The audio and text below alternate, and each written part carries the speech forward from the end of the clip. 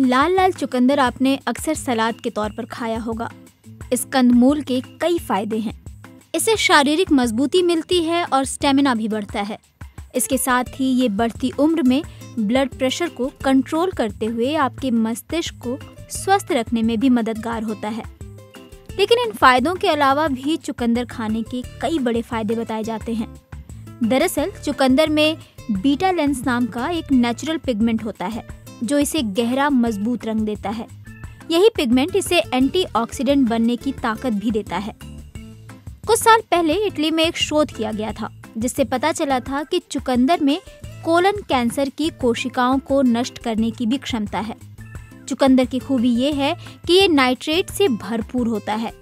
जब हम चुकंदर खाते हैं तो हमारे मुँह में रहने वाले बैक्टीरिया नाइट्रेट को नाइट्रिक ऑक्साइड में बदलना शुरू कर देते हैं। एक्सपर्ट्स बताते हैं कि नाइट्रिक ऑक्साइड खून की नली को चौड़ा करता है। इससे खून आसानी से बह पाता है। इतना ही नहीं नाइट्रिक ऑक्साइड को कामोत्तेजना के लिए भी ज़रूरी माना जाता है। हालाँकि अब तक किसी शोध में ऐसा नहीं बताया गया है कि चुकंदर के रस का प्रभाव वियाग्रा के समान होता है। वैसे अगर चुकंदर का रस रोज पिया जाए तो इसका असर ब्लड प्रेशर पर देखने को मिल सकता है। एक शोध से पता चलता है कि कुछ हफ़्ते तक अगर दिन में दो चुकंदर खाए जाएँ तो ब्लड प्रेशर में औसतन पाँच मिलीमीटर तक गिरावट आ सकती है। और अगर ये गिरावट बरकरार रहती है तो स्ट्रोक हार्ट अटैक पड़ने के जोखिम को 10 फ़ीसद तक कम किया जा सकता है। चुकंदर हमारे मस्तिष्क के लिए भी काफ़ी फ़ायदेमंद होता है। इससे मस्तिष्क में होने वाले ब्लड फ्लो को बढ़ाने में मदद मिलती है।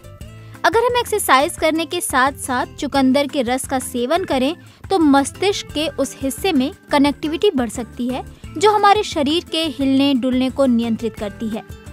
शोध बताते हैं कि अगर 10 दिन तक दिन में दो बार चुकंदर के रस का सेवन किया जाए तो आपके मुँह के अंदर के बैक्टीरिया का संतुलन बेहतरीन हो सकता है। अब बात करते हैं कि चुकंदर को कितनी देर पहले खाएँ, जिससे शरीर पर बेहतर असर दिखे। शोध के मुताबिक अगर खेल के प्रदर्शन में सुधार करना हो तो खेल शुरू होने से लगभग दो से तीन घंटे पहले चुकंदर खाना चाहिए, क्योंकि नाइट्रेट को खून में घुलने में थोड़ा समय लगता है। चुकंदर को किस तरह खाएँ कि ये सबसे बेहतर असर दे? इसके लिए कहा जाता है कि चुकंदर का सबसे ज़्यादा फ़ायदा उठाने के लिए उसे कच्चा ही खाना चाहिए, या फिर उसका जूस बनाकर पी सकते हैं। अगर चुकंदर को उबालना है तो उसके उबले हुए पानी को फेंकना नहीं चाहिए। उसे भी खाने में इस्तेमाल करना चाहिए, क्योंकि उस उबले पानी में ही ज़्यादातर नाइट्रेट घुल जाता है और फेंकने पर वो सब बेकार हो जाता है। तो चुकंदर की ये जानकारी आपको कैसी लगी, हमें कमेंट बॉक्स में लिखकर ज़रूर बताइएगा। अपने दोस्तों के साथ भी इस वीडियो को शेयर कीजिएगा और सब्जियों के साथ साथ इस बार चुकंदर भी घर लाना मत भूलिएगा।